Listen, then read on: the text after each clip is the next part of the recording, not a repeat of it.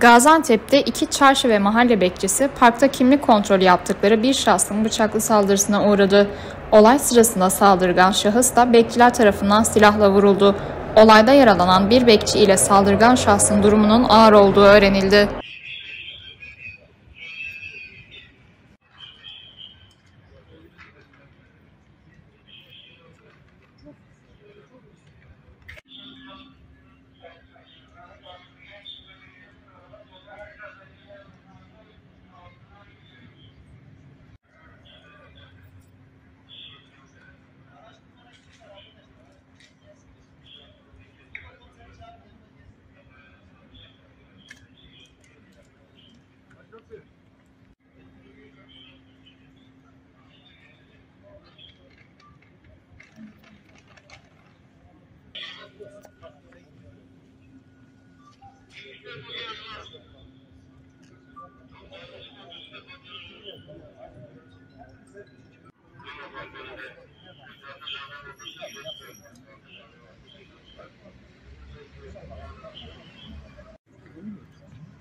Mm-hmm.